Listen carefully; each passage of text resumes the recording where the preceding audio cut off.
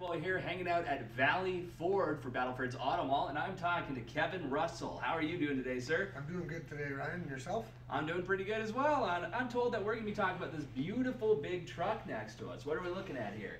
Well, it's all new for 2017, the Super Duty line for Ford in their F Series lineup, which is the number one selling vehicle in Canada. Okay. Um, high strength military grade steel, high strength military grade aluminum they went to with this truck now, just like the predecessor of the F 150s. So it can take a beating if you needed to. Absolutely. Corrosion resistant, dent resistant. They went to a larger cab, same as the F 150 now, so you get four more inches of space in the back seat.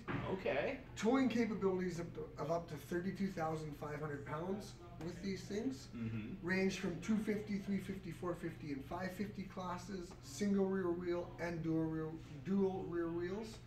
Optional uh, cloth, leather, sunroofs, all sorts of lines, XLT, Lariat, King Ranch, and Platinum models available.